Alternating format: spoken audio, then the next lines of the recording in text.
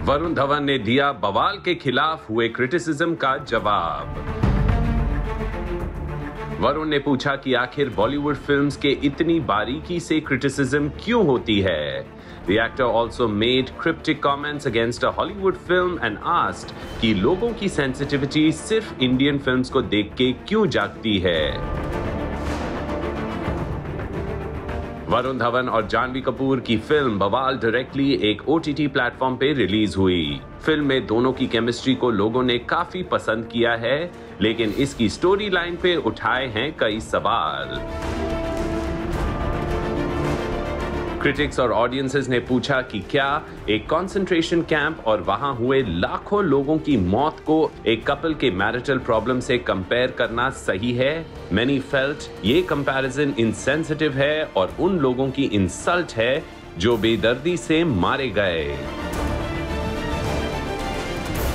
लेकिन अब वरुण ने एक इंटरव्यू में बवाल के खिलाफ हुई क्रिटिसिज्म का जवाब दिया है। Responding to people being upset about marriage being compared to a gas chamber and concentration camp, Varun ने कहा कि उनका कैरेक्टर पॉलिटिकली करेक्ट और सेंसिटिव नहीं है। वो अपनी वाइफ की मदद से सुधरता है और ये कंपैरिजन उस चीज़ को हाईलाइट करने के लिए हुई थी। वरुण ने इंडियन ऑडियंसेस को क्रिटिसाइज करते हुए कहा some people get triggered and sensitive about this but I don't understand where that sensitivity और the trigger goes when they watch an English film They are allowed to do and show everything, and you will find that in the correct way.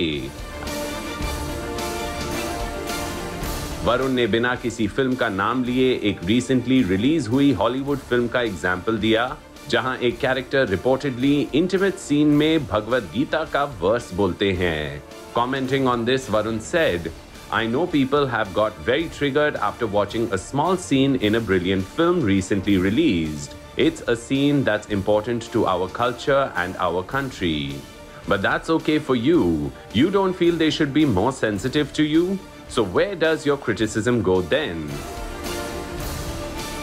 वल हर किसी की अपनी पसंद नापसंद होती है, पर सेंसिटिविटी बनाए रखने में कोई हर्ज नहीं what do you guys think